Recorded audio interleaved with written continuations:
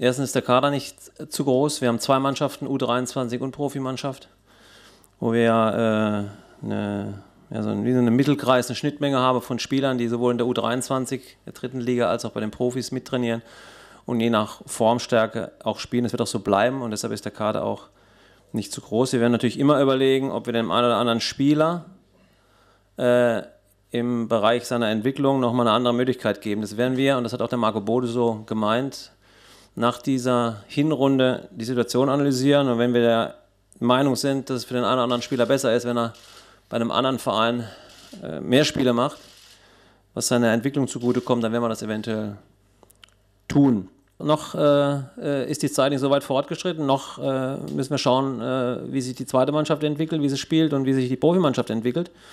Wie gesagt, wir haben einen Kreis von 10, 12 Spielern, die in der Lage sind, äh, beide, beide Bereiche zu spielen. Und die Besseren werden sich durchsetzen. Und dann werden wir irgendwann natürlich auch die eine oder andere Entscheidung in diese Richtung treffen.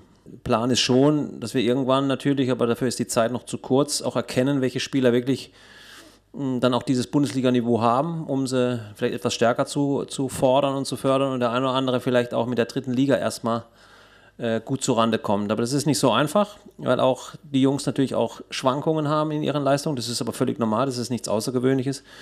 Und äh, deshalb geben wir jedem, der auch dann äh, sich wieder in den Vordergrund spielt, die Gelegenheit, oben wieder vorzuspielen. Das zu teilen ist nicht so ganz einfach, weil wir und gerade das Trainerteam ja auch unseren Kader nach Positionen bestückt. Und äh, wenn oben drei Stammspieler der oberen Kategorie eben ausfallen, dann nützt es nichts, wenn du auf den Fünfen, so wie ihr es, glaube ich, heute auch beschrieben habt, äh, bei denen bleibst, wenn die Position überhaupt nicht passt. Deshalb wirst du automatisch auch wieder aus dieser zweiten Mannschaft äh, den Kader bestücken. Das ist auch bei uns so geplant, weil wir nicht wollen, dass wir einen extrem tiefen Kader ohne diese Spieler haben, die in der dritten Liga spielen. Das ist ein, auch eine Budgetfrage bei uns und deshalb ist das ein alternativer Weg, den wir da gerade gehen. Aber richtig ist, dass wir natürlich Monat für Monat bessere Erkenntnisse haben, wer wirklich äh, in der Lage ist, Bundesliga zu spielen und wer vielleicht nochmal ein Jahr was anderes tun muss oder äh, wer vielleicht äh, erst mal zwei, drei Monate auch dann in der zweiten Mannschaft in der dritten Liga spielen muss. Das ist die Erkenntnis daraus.